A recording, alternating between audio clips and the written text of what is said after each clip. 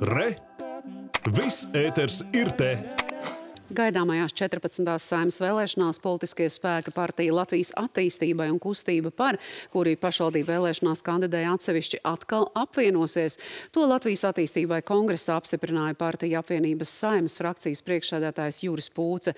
Tajā pat laikā kongresā izskanēja viedokļi, ka tuvojoties vēlēšanām politiskās kaislības sāsināsies un uz citu partiju atbalstu var necerēt. Plašāk Iļas Kozinas sižetā.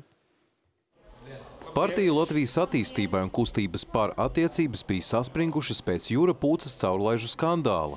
Tai laikā vidas aizsardzības un reģionālās attīstības ministrs lūdzas Rīgas domas deputātu Māri Mičerevski, lai viņš pūcem sagādā Rīgas domas deputāta autostāvvietas caurlaidi. Pēc ziņu nonākšanas publiskajā telpā pūce no amata atkāpās. Beigu beigās apvienībā ietilpstošās partijas 21. gada pašvaldību vēlēšanās nolēma kandidēt atsevišķi, taču tuvojoties 14. saimas vēlēšanām, partijas atkal apvieno spēkus un kandidēs no viena saraksta.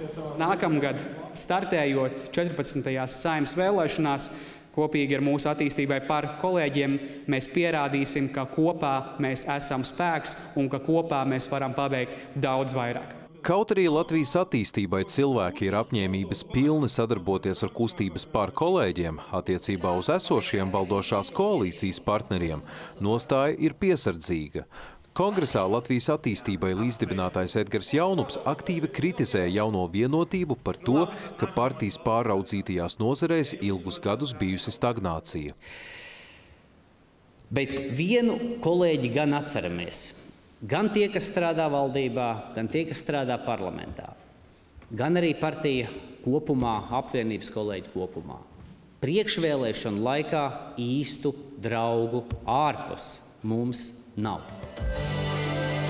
Saimnes vēlēšanās Latvijas attīstībai kopā ar par un izaugsmi cer uz 15% vēlētāju atbalstu. Pašlaik tiek veikta vēlētāju noskaņojuma izpēta un partiju apvienība strādā pie priekšvēlēšanu piedāvājumu. Nākamā sasaukuma svarīgākā prioritāte būs izglītības joma. Ieguldījumi izglītībā, skolu tīkla reforma, augstskolu konsolidācija, lielāka darba samaksa skolotājiem, vienlaikus efektīvāks darbs uz labākiem rezultātiem. Un, protams, būs jāturpina ieguldījumi valsts drošībā, un ļoti svarīga prioritāte nākamajai saimai ir zaļais kurs. Ilija Kozincainis Kupčs, Latvijas televīzija.